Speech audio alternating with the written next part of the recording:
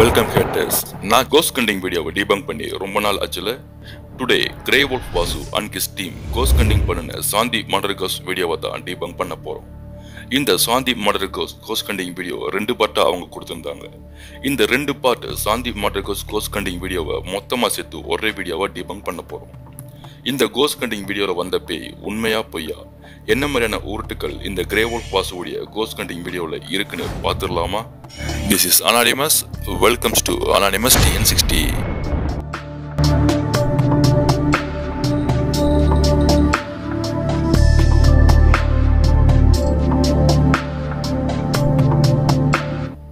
first part Shanthi murder கோஸ் ghost hunting வீடியோவில் grave of pass இல்லாமல் மீதம் இருக்கக்கூடிய ரெண்டு பேர் மட்டும் சாந்தி மர்டர் கோஸ்ட் கண்டிங் பண்ண போகிறாங்க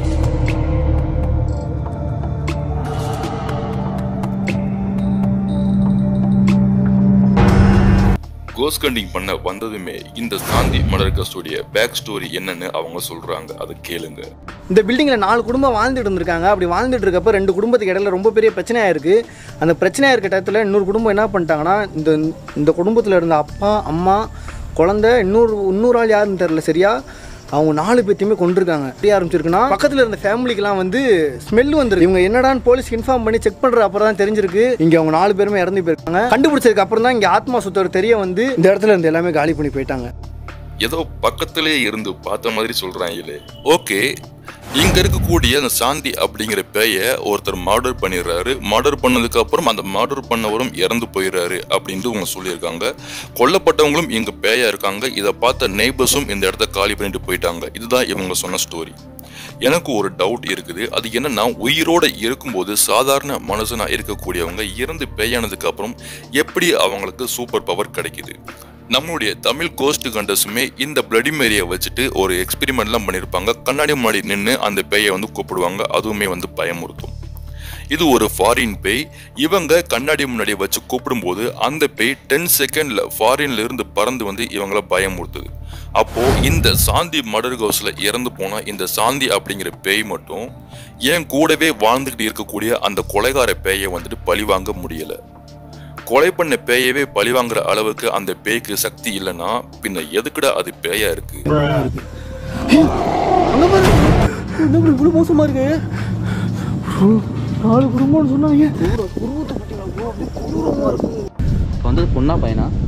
பய- பொண்ணு மாதிரி தான் ப்ரோ அந்த முடியெல்லாம் வச்சு முடியெல்லாம் ஒரு மாதிரி அது இது எரிஞ்சா ஒரு மாதிரி இருக்கும்ல முடியெல்லாம். அந்த மாதிரி இருக்கு ப்ரோ அடேயப்பா உள்ள கோஸ் கண்டிங் பண்ண என்டர் ஆனதுமே சாந்தி அக்காவுடைய தரிசனம் கிடைச்சிருச்சு இவங்களுக்கு. அதை திருப்பி பார்க்கலாமா? செம காமெடியா இருந்தது.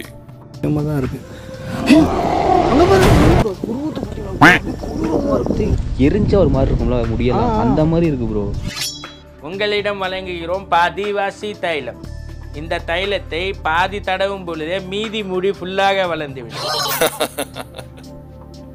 ஒரு நிமிஷம் அந்த கோஸ்டுடைய சவுண்டை கேளுங்களேன் தான் இருக்கு.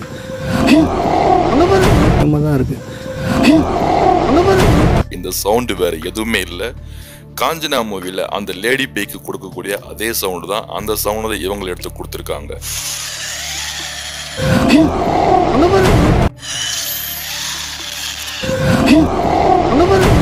இவங்களுடைய ஆரம்பகால கோஸ்ட் கண்டிங் வீடியோவை பார்த்தோம்னா ஒரு இடத்துக்கு பேயை தேடி கோஸ்ட் கண்டிங் போவாங்க. ரொம்ப நேரம் தெரிஞ்சதுக்கு அப்புறமா கோஸ்ட் கேப்சர் ஆகும். அப்புறம் எஸ் இங்க பேய் இருக்கு அப்படின்னு சொல்லிட்டு வெளியே வந்துருவாங்க. பட் இப்போல்லாம் கோஸ்ட் கண்டிங் ஸ்டார்டிங்லேயே அந்த இடத்துல பேய் இருக்குன்னு கன்ஃபார்ம் பண்ணிட்டு தான் கோஸ்ட் கண்டிங்க்கே போறாங்க. அந்த பேயும் நானும் இங்கே தாண்டா இருக்கேன் அப்படின்னு கரெக்டாக கோஸ்ட் கண்டிங் ஸ்டார்ட் ஆகிறதுக்கு முன்னாலேயே கேமராவுக்கு வந்து போஸ் கொடுத்துட்டு போயிடுது என்னத்த சொல்ல?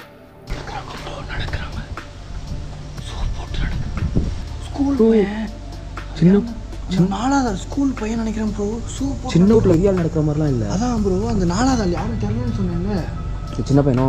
ஆ ஷூ போட்டு ஸ்கூலுக்கு நடப்பாங்க. ம் அப்போ பேய் ஷூ போட்டிருக்கு. ரைட் ரைட் பட் நடக்கிற சவுண்டை வச்சே அது பெரிய பேயா இல்லை சின்ன பேயான்னு கண்டுபிடிக்கக்கூடிய உங்களுடைய திறமை ரொம்பவே அபரிவிதமானது. கண்டிப்பா இதை பாராட்டியே ஆகணும். உங்களுக்கு கரெக்டாக ஆமாம் இங்கே ஒன்று அங்கே ஒன்று நாலு ரெண்டு சவுண்டு நமக்கு புதர் ப்ரோ இங்கேருந்து வந்தோம்.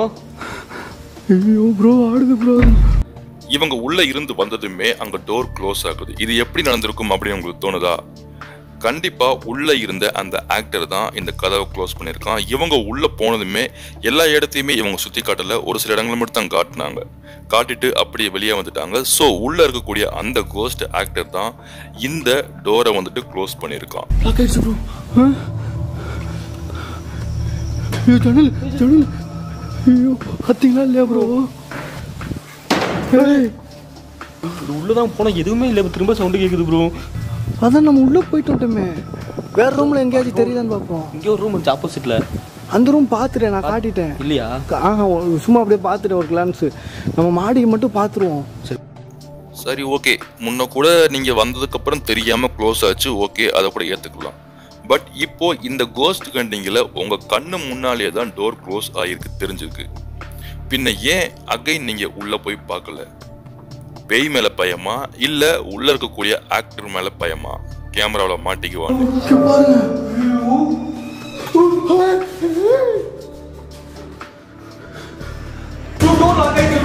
டோர் லாக் ஆகிருச்சுன்னு சொல்லும்போது அந்த கோஸ்ட் கண்டருடைய ஃபேஷியல் எக்ஸ்பிரஷனை பாருங்க. நேச்சுரலா இல்லாம எவ்வளவு ஒரு ஆர்டிஃபிஷியலா இருக்குன்னு. ஸோ தட் ரீசன் இஸ் ஒரு விஷயம் நமக்கு தெரியாம நடக்கும்போது தான் எக்ஸ்பிரஷன் நேச்சுரலா வரும். பட் இங்க டோர் க்ளோஸ் ஆக போற ஸ்கிரீன் பிளே ஆல்ரெடி தெரிஞ்சதால அந்த எக்ஸ்பிரஷன் நேச்சுரலா வரல.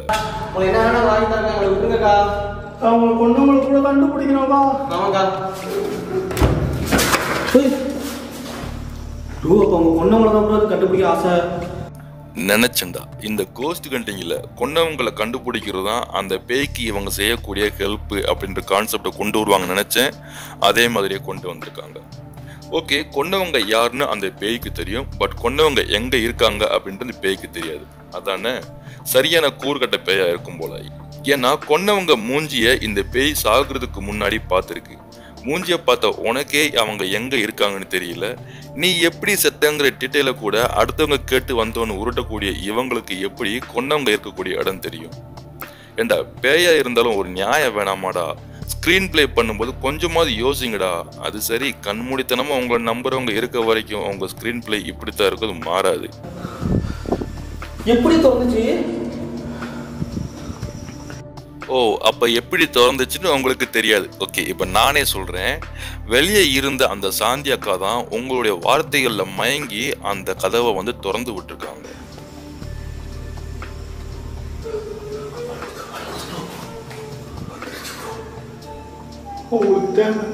கொண்டவனை கண்டுபிடிக்கணும் ப்ரோ அதான் ப்ரோ ஆமா பெரிய சிஐடி கண்டுபிடிச்சு எத்தனை தண்டனை வாங்கி கொடுத்தாங்கன்னு தெரியல. ஏன்னா ஒரு வருஷத்துக்கு முன்னாடி இந்த வீடியோ வந்திருக்கு. பட் இவங்க கொன்னவங்களை கண்டுபிடிச்சாங்களா இல்லையாங்கிறது தான் இன்ன வரைக்கும் மர்மமாக இருக்கு. கேட்டால் கொலை பண்ணவனே இறந்து போய் இங்கே பேயா சுத்துறான் அப்படின்னு ஒரு உருட்டு வர ஊட்டிக்கிறாங்க. ஏய் நிஜமாவே கொன்னவங்களை நீங்க கண்டுபிடிக்கிறா இருந்தா கோஸ்ட் கண்டஸ் மாதிரி ஒரு தெய்வம் பாதிக்கப்பட்டவங்க குடும்பத்துக்கு கிடைக்காதுடா. அப்படி ஒரு தெய்வமும் உங்களை பார்ப்பாங்க.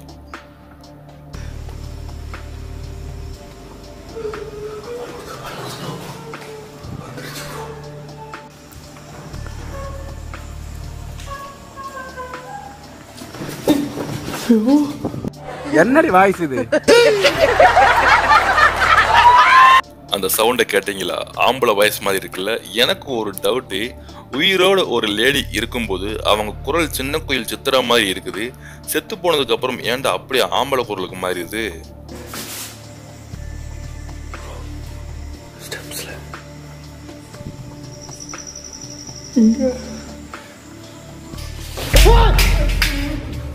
சொன்னீங்கடா அப்பே இங்கிட்டு வாங்க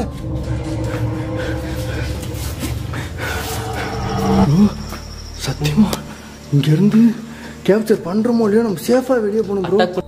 கீழே இருந்து ஒரு பொருள் மேலே வந்து விழுகுது. அப்படி விழுந்து நாம வந்து என்ன செய்வோம்? யார் எரிஞ்சது அப்படின்னு உடனே கீழே போய் பார்ப்போம். கையில் கேமரா வேறு இருக்குது. கேமராவை வச்சுக்கிட்டு அங்கே யார் எரிஞ்சாங்க அப்படின்னு சொல்லி இவங்க போய் பார்க்கவே இல்லை. அது ஏன்? அவரு அவங்க ஹஸ்பண்ட் பேராக இருக்கும் ப்ரோ அவங்க ஹஸ்பண்ட் கதவு சாத்துறாங்கன்னு நினைக்கிறேன். உங்க ஹஸ்பண்ட் பேரா? ஓ பொண்டாட்டி திறக்குது புருஷன் அடைக்கிறான். நான் கதவை சொன்னேன். யாரும் தப்பா எடுத்துக்காதீங்க. இவன் தான் நம்ம மேலே கோபத்தில் இருக்கான். ஒருவேளை பக்கத்து வீட்டுக்காரன் இருக்காங்க. அவன் அந்த கொண்டாங்கல்ல அவன் ஃபேமிலி அவன் ஒய்ஃப் கிட்ட சந்தேகப்பட்டு அவன் ஏதோ அவங்க ரெண்டு தப்பாக இருக்காங்கன்னு நினச்சி சந்தேகப்பட்டு கொண்டுட்டானா? அந்த அக்கா வந்து நம்ம நல்லவங்க ப்ரோ அவங்க இந்த ஆள் சந்தேகப்பட்டிருக்கான் அதனால தான் அவங்க ஃபேமிலியை கொண்டுட்டாங்க. மீதி ரெண்டு பேர் வேற யார் என்னன்னு தெரியல. அவன் பொண்டாட்டிக்கு மளிகை கடைக்காரனுக்கும் தொடர்பு இருக்குதா? அதனால வந்த குழப்பம் இது? இந்த நாலு பேரு நாலு விதமா பேசுவாங்கன்னு சொல்லுவாங்களே அந்த நாலு பேர் நீங்க தானே ஆமா ஹே என்னங்கடா அது? கூடவே இருந்து கொலையை பண்ணது மாதிரி புதுசு புதுசா சொல்றீங்க. சாந்தியாக்கா சாந்தியாக்கான்னு சொல்லி கடைசியில கள்ளக்காதல்ல கனெக்ட் பண்ணி விட்டீங்கடா உங்க சாந்தியாக்காவை. அது குழந்தை. கண்டிப்பா அங்க பெல்ட் சின்ன பிள்ளை பெல்ட் எல்லாம் கிடக்கு. எங்க இருந்துச்சு? அந்த ரூட்ல ரெண்டா அருந்து கிடக்கு பாக்கலையா? காட்டுங்க. ஏண்டா சின்ன பிள்ளை பெல்ட் அங்க கிடந்தா அப்ப அங்க சின்ன பேய் சுத்துன்னு அர்த்தமா? அப்போ நீங்க போற இடத்துலலாம் காண்டம் கிடக்கு. அப்போ பேய் தான் உயிரோட இருக்கும்போது காண்டம் யூஸ் பண்ணுச்சா? சரக்கு பாட்டில் கிடக்கு பேய் தான் உயிரோட இருக்கும்போது சரக்கு அடிச்சா? என்னென்ன சொல்றாங்கன்னு பாருங்க இவங்க. ப்ரோ கன்ஃபார்ம் ப்ரோ அந்த அக்காவை சந்தேகப்பட்டிருக்கான். அதனால தான் அந்த அக்கா சந்தேகப்படவும் அந்த ஆப்போசிட் ஃபேமிலி சேர்ந்து ஏதோ அதுதான் கண்டிப்பாக நடந்திருக்கு ப்ரோ எனக்கு தெரிஞ்சிச்சு. இவன் இவ்வளோ ஆக்ரோஷமாக இருக்கான் அந்த அக்கா இவன் தான் நம்மளை பூட்டி இவன் இல்லை ப்ரோ இவன் தான் உள்ள வச்சு பூட்டியிருக்கான். அந்த அக்கா திறந்துருக்காங்க. அந்த அக்கா ஒருத்தர் நம்ம பார்க்க போகிறோம் அவங்க ஏதோ படிக்க போட்டதுக்கு ஏதோ பண்ணியிருக்கான் நம்மளை. வேணும்னே என்னமோ பண்ணுறாங்க நான் ஏன் இப்படி பண்றேன்னு தெரிஞ்சுக்கிறதுக்காக? நான் புக்கில் நெட்லலாம் கூட பார்த்தேன்ப்பா. அது காரணம் ஹார்மோன் சேஞ்சஸ் ஆம்பா ஏன் தப்பு இல்லப்பா. இந்த எல்லா பிரச்சனைக்கும் என்ன காரணம் நினைக்கிறேங்க ஆனா போலீஸ்காரங்க கூட இந்த அளவுக்கு பேக் ஸ்டோரியை கேதர் பண்ணியிருக்க மாட்டாங்கடா. ஆனா நீங்க சொல்ற கதை இருக்கே. நல்லா இருக்கிற ஃபேமிலியை கூட விதவிதமா கதையை சொல்லி கெடுத்து விட்டுறீங்க போல. அப்படி சொல்றீங்க கதை. யாரு?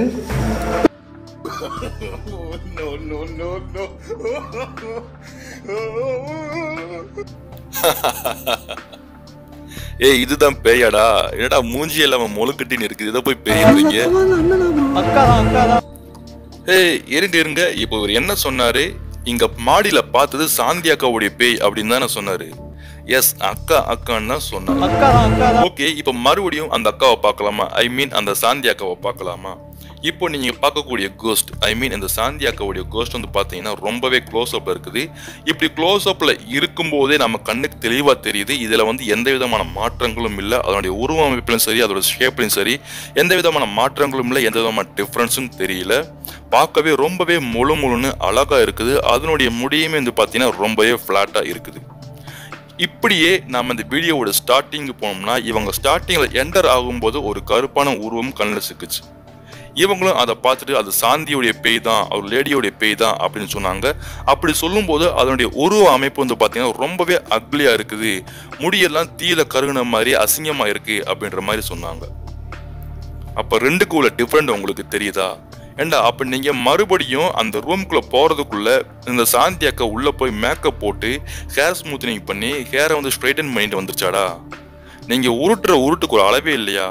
அங்கே பார்த்ததையும் லேடி பை சாந்தி அக்கான்னு சொல்கிறீங்க இங்கே பார்த்ததையும் சாந்தி அக்கான்னு சொல்கிறீங்க ஆனால் ரெண்டு பைக்கு நீங்கள் சொன்ன உருவமைப்பு ரொம்பவே டிஃப்ரெண்ட்டாக இருக்குது இதில் எதடா நம்புறது? நீங்கள் உருட்டுற உருட்டுருக்கு தாங்க முடியலடா சாமி.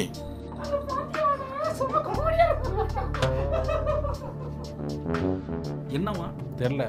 வேற பெண்கள். ஒண்ணும் இல்ல பெண்கள். பெண்கள். நம்ம ஆண்கள் நிக்கிறோமா? ஆமா. அதனால அப்படி சிரிச்சிட்டு போனா நம்ம பாப்போமா? சரி. விட்டுருங்கண்ணே எங்களை.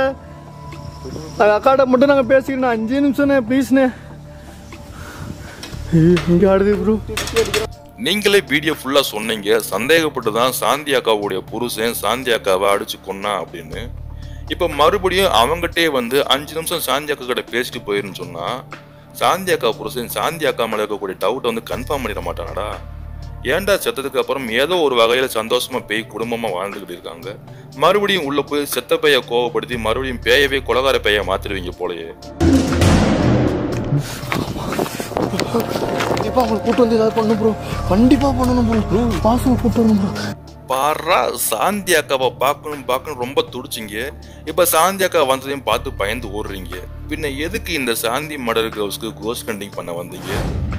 அப்படியே செகண்ட் பார்ட்ல கோஸ் கண்டிங் சாந்தி மடர் ஹவுஸ்ல கிரேவல் பாஸோட சேர்ந்து மூணு பேரும் இந்த சாந்தி மடர் ஹவுஸ்க்கு வந்து கோஸ் கண்டிங் பண்ண வராங்க. அப்படியே வெயிட் பண்ணிட்டு வந்துடுறேன். இந்த ஆள் தனியாக நேரம் செத்துருப்பான் பைக்கில் இப்போ என்ன பண்ணுறான்னு பார்ப்போம்டா வேமா கூட அவர்கிட்ட. நிஜமாவே அவர் அங்க தனியா தான் இருக்காரா? கண்டிப்பா இல்ல. அங்க பேய் ஆக்ட் பண்ணக்கூடிய ஆக்டர் கூட தான் சேஃபா அவர் இருக்காரு. இவர் இந்த மேல இருந்து உருவம் பார்த்துச்சு இப்போ. கன்ஃபார்ம்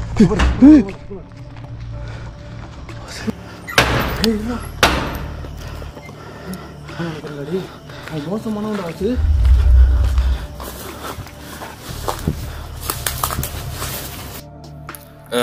இந்த சாந்தி மாடர்காஸ் கோஸ் கண்டிங் வீடியோவில் மேலே இருந்து எட்டி பார்த்தது பேய் கிடையாது அது ஒரு ஆக்டர் தான்.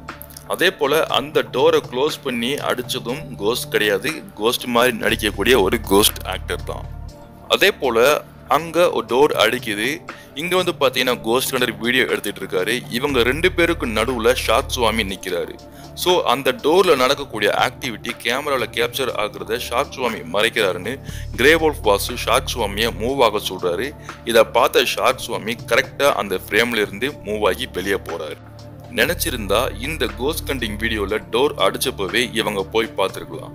பட் அவங்க அதை பண்ணல. அதுக்கு காரணம் இந்த கோஸ்ட் கண்டிங்கில் டோரை அடிக்கிறது அந்த கோஸ்ட் ஆக்டர் அவங்க உடனே போனால் அவர் மூவ் ஆகுறதுக்கு சரியான டைம் இருக்காது. அப்போ கேமராவில் கேப்சர் ஆகிருவார். அதனால தான் அந்த கோஸ்ட் கண்டிங்கில் ஆக்ட் பண்ணக்கூடிய ஆக்டர் மூவ் ஆனதுக்கு அப்புறமா இவங்க கேப்சர் பண்ணுறதுக்காக போகிறாங்க அன்னைக்கு வந்துட்டு போனோம்னா நாங்கள் ரெண்டு பேரும். நாங்கள் சொன்ன மாதிரி நான் கூப்பிட்டு வந்திருக்கேங்க. உங்களுக்கு ஹெல்ப் பண்ண வாசுவை.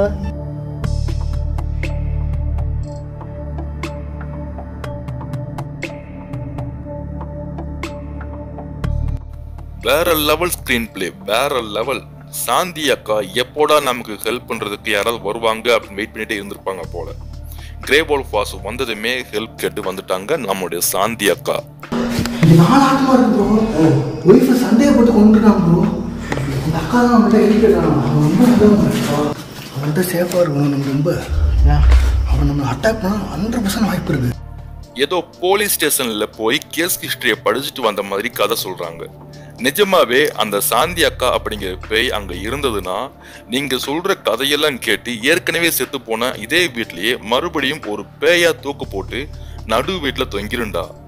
அந்த அளவுக்கு நீங்க உருட்டுறீங்க. செத்து போன பேயவே மறுபடியும் தூக்குல தொங்க விட்டீங்க அப்படின்ற ஒரு பட்டம் உங்களுக்கு கிடைச்சிருந்தா. நாங்கடாடி பண்றீங்க? இந்த இடத்துக்கு ஆல்ரெடி வந்த மாதிரி எனக்கு ஒரு ஃபீல் வருது கனவுல அந்த மாதிரி. நீங்கள் எஸ் கரெக்ட் தான். லொக்கேஷன் பார்க்க வந்திருப்பீங்க. எங்கெல்லாம் என்னென்ன ஃபேக் மூமெண்ட் கிரியேட் பண்ணணும் அப்படின்னு பார்க்கறதுக்காக டே டைமில் வந்திருப்பீங்க. அதான் ஏற்கனவே உங்களுக்கு வந்த மாதிரி தோணுது. நாலு பேர் வசிங்க. அவங்க நாலு பேர்த்துல வந்து பக்கத்து வீட்டுக்காரங்களில் வந்து இந்த அக்கா கள்ளத்தொடர்பு இருந்துட்டாங்கன்னு நினச்சி இந்த புருஷன் வேற கொண்டுட்டான். இவங்களே நாலு பேருமே இறந்து போயிட்டாங்க. அந்த இடத்துல மர்மமாயி பக்கத்து வீட்டுக்காரன் வந்து இவங்களை கொண்டுட்டான். ஒருத்தவங்க கொண்டுட்டான் ஏன்னா மெகா சீரியல் மாதிரி சொல்லிட்டு இருக்காங்க இல்லை வாசு நாலு பேர் இந்த குடும்பத்தில் இறந்தவங்க நாலு பேர் கன்ஃபார்மு ஆனால் இந்த அவங்க இறந்தது ரெண்டு நாள் கழிச்சு தெரிய வந்திருக்கு. எல்லாம் வெளியூர் போயிட்டாங்கன்னு நினச்சி ரெண்டு நாள் கழிச்சு நார ஆரம்பிக்கும் எல்லாம் உள்ள எட்டி பார்க்குறப்ப தான் தெரியுது. பக்கத்து வீட்டில் இருந்தவங்களும் எஸ் ஆயிட்டாங்க. கொன்னது பக்கத்து வீட்டுக்காரங்க. ஏன்னா இவங்க சந்தேகப்படுறாங்கன்ட்டு அவங்களும் கொண்டாங்க அவங்க சந்தேகப்படுறாங்க இவங்க கொண்டாங்க அந்த வீட்டில் இருக்கிற லேடிலாம் ரெண்டு பேரும் சந்தேகப்பட்டிருக்காங்க. ஆமாம் எத்தனை எத்தனை நாலு பேர் ஸ்கூல் பையன் குழந்தை ஒரு அக்கா சாந்தி அக்கா அந்த அவன் பேர் என்னமோ சுந்தரம் சரி கூப்பிடுங்க அக்காவை இந்த கோஸ்ட் கண்டிங்கில் இவங்க சொல்லக்கூடிய இந்த கதை தான் உண்மை அப்படிங்கிறத நம்ப வைக்கிறதுக்காக எத்தனை வாட்டி அந்த கதையை திரும்ப திரும்ப சொல்றான்னு பாருங்கவேன் சொல்லி சொல்லி உங்களை வந்து இதுதான் உண்மை நம்ப வச்சிருவாங்க. நீங்களும் நம்பிடுவீங்க.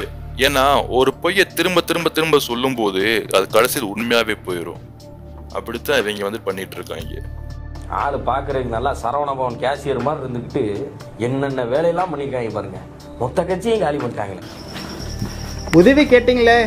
உங்களுக்கு உதவி செய்ய வந்தா எங்களை வந்து பார்க்க மாட்டீங்க. ஏதோ உதவி வேணும்னு கேட்டிருந்தீங்களா? உங்களுக்கு உதவி செய்ய வந்தப்ப எங்களை பார்க்க கூட வர மாட்டீங்க. ஆ இப்படித்தான். இந்த கோஸ்ட் ஹண்டிங்கில் அப்பப்போ பேய் சில்க் ஸ்மிதா மாதிரி எட்டி எட்டி பார்த்துட்டு போகும். இவங்களும் கேப்சர் பண்ற மாதிரி அங்கங்க ஓடிட்டு இருப்பாங்க.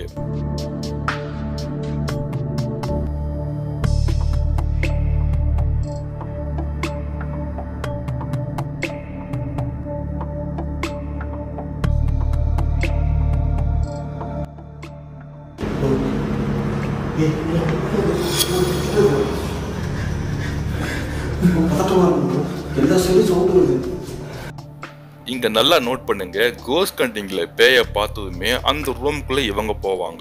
பட் அங்க கட்சின் வந்து உள்ள என்டர் ஆகுறத காட்டாம ஸ்ட்ரைட்டா ரூம்குள்ள நிக்கிற மாதிரி நெக்ஸ்ட் சீன் இருக்கும்.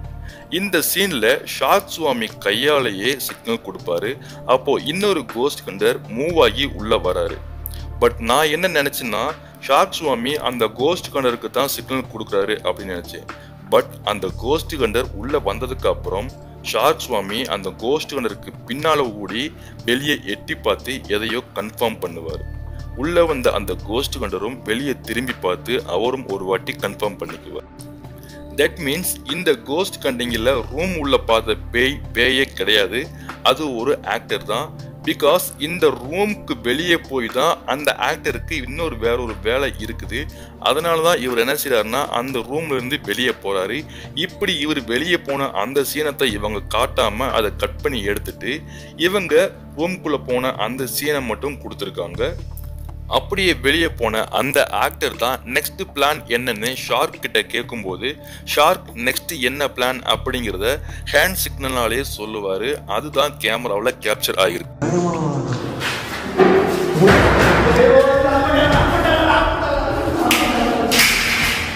விட்டுற விட்டுற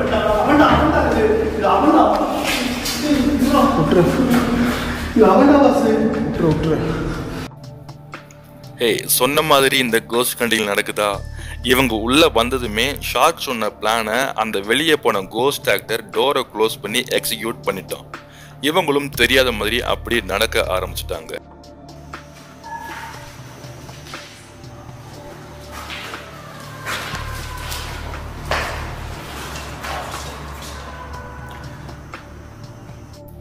மறுபடியும் மறுபடியும் துருப்பிடிச்ச தொண்டையை வச்சுக்கிட்டு ஏன் தான் இந்த கர்மம் முடிச்சு போய் கத்தி தொலையுதுன்னு தெரியல. இதோட வாய்ஸை கேட்கும்போது எனக்கு சிப்பு சிப்பா வருது. ஐயோ ஐயோ. இருங்க மறுபடியும் அந்த வாய்ஸை திருப்பி போடுறேன். நான் கேட்ட இன்பத்தை நீங்களும் பெறுங்க. பிடிக்காத சிவனுக்கு?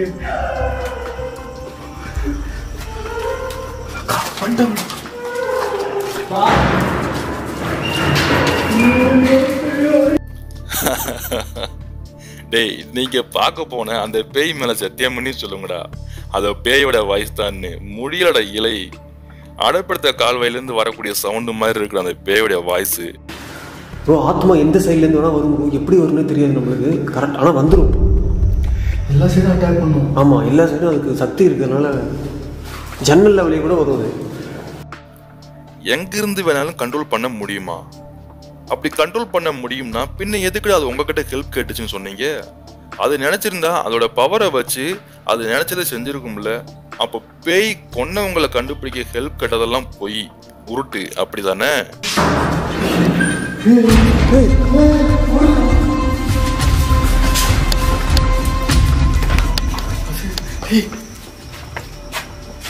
நான் சொல்றது கேள்றா ஒரு நிமிஷம் கேள்றா ஓகே இந்த நான் நல்லா நோட் பண்ணீங்கன்னா டோர் ஓப்பன் பண்ண உடனேயே கிரே வோல்ஃப் கேமராவிலேருந்து ஃபுட்டேஜ் செகண்ட் கேமராவுக்கு போயிடும் பிகாஸ் டோர் ஓப்பன் பண்ண உடனே அந்த ஆக்டர் ஓப்பன் ஆன அந்த லெஃப்ட் சைட் டோருக்கு கீழே உட்காந்துக்குவான் அப்போ டக்குன்னு மூவ் ஆகுறது கஷ்டம். அப்போ ஈஸியாக ஃபர்ஸ்ட் கேமராவில் அவன் கேப்சர் ஆகிடுவான் அதனால தான் செகண்ட் கேமராவுக்கு இவங்க ஃபுட்டேஜ் வந்து சேஞ்ச் பண்ணியிருக்காங்க இப்போதான் இங்க இருந்த அந்த ஆக்டர் அதாவது இவங்க வெளியே வந்த சமயம் ஃபர்ஸ்ட் கேமராவில் வெளியே ஃபுட்டேஜை காட்டுறாங்களே அந்த சமயத்துல தான் வெளியே இருந்த அந்த ஆக்டர் மறுபடியும் உள்ள போயிடுறான்.